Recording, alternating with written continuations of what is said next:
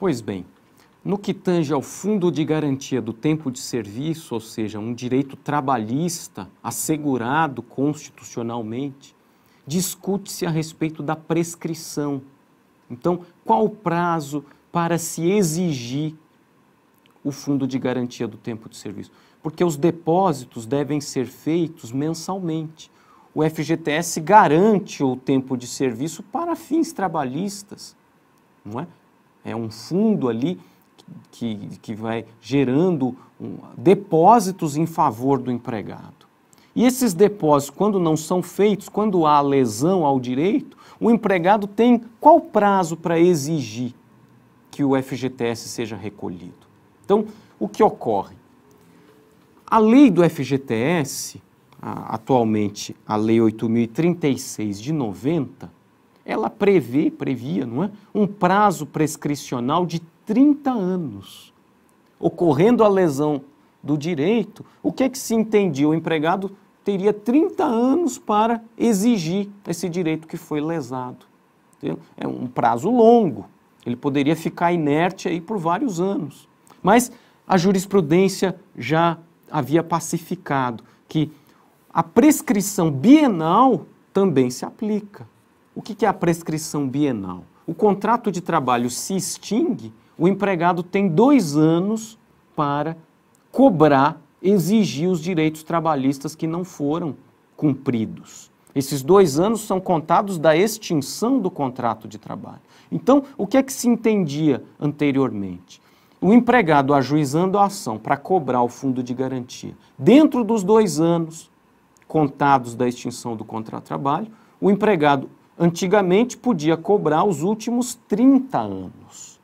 Então, era uma, uma prescrição trintenária, prevista na lei do Fundo de Garantia. O que ocorreu posteriormente? O Supremo Tribunal Federal, apreciando essa questão, passou a entender de modo diverso. O que ocorre? A Constituição além de assegurar o fundo de garantia e uma série de outros direitos trabalhistas, também trata do prazo de prescrição no direito do trabalho. Então, a, a, nossa Constituição prevê não só esse prazo de dois anos, a prescrição bienal, a partir da extinção do contrato de trabalho, mas também a prescrição quinquenal, cinco anos, contados esses cinco anos da lesão ao direito.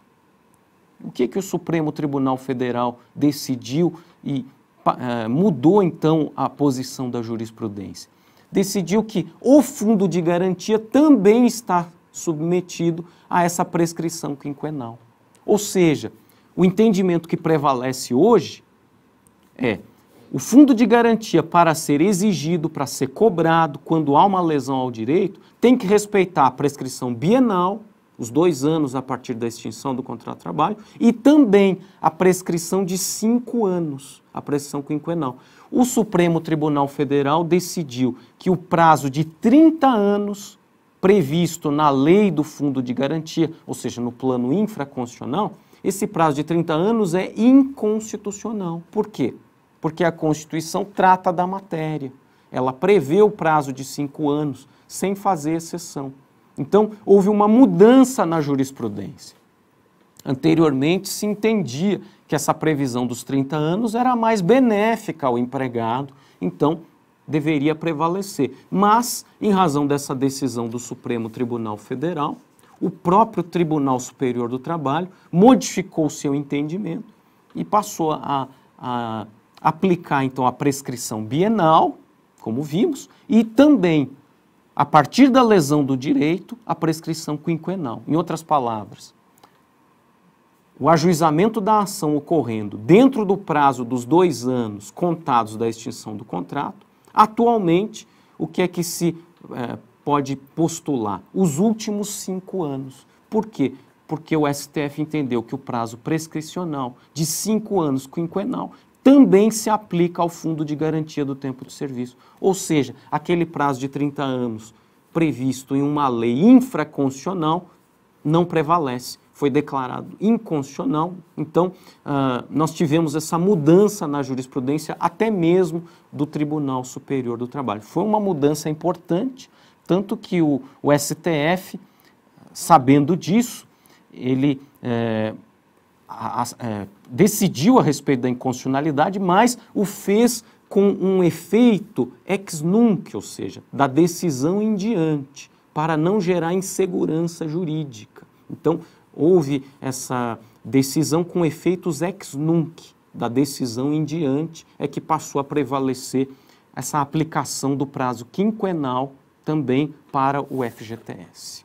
É isso, um tema da maior importância também a respeito da prescrição do fundo de garantia. Obrigado.